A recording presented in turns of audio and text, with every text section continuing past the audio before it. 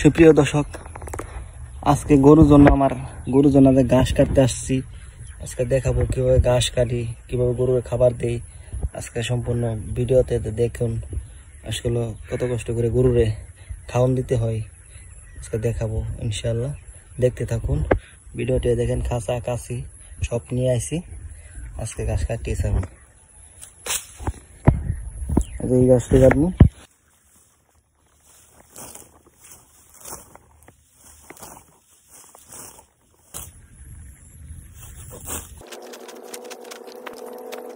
গরুর লাগে কত কষ্ট করতেছি।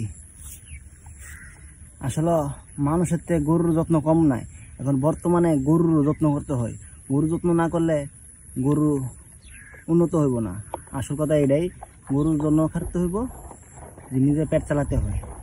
আসলে যদি গ্রাম এলাকায় যারা থাকে, সবাই গরু পালবেন, খাটবেন, উন্নত হইবেন। এটাই হচ্ছে মেন উদ্দেশ্য।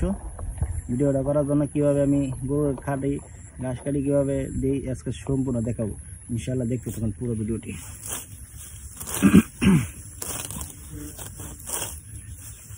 এই কাশি, খাঁসা নিয়ে আইসি আজকা, ঘাস কেটে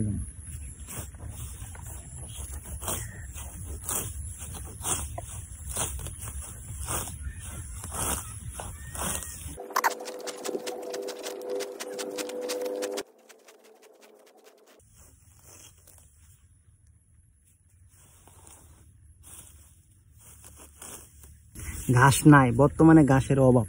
অভাবের কারণে আজকে এই জায়গাতে আইছি। গরুর জন্য ঘাস নাই, সব ফসল ক্ষেত বুড়ে গেছে।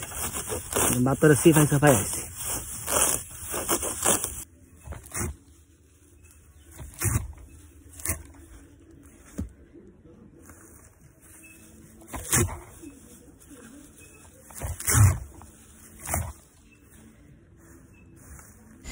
এইটাই আমার গরু। এটার জন্য তখন ঘাস কাটলাম গা- খ্যার কাটলাম সব কাটলাম।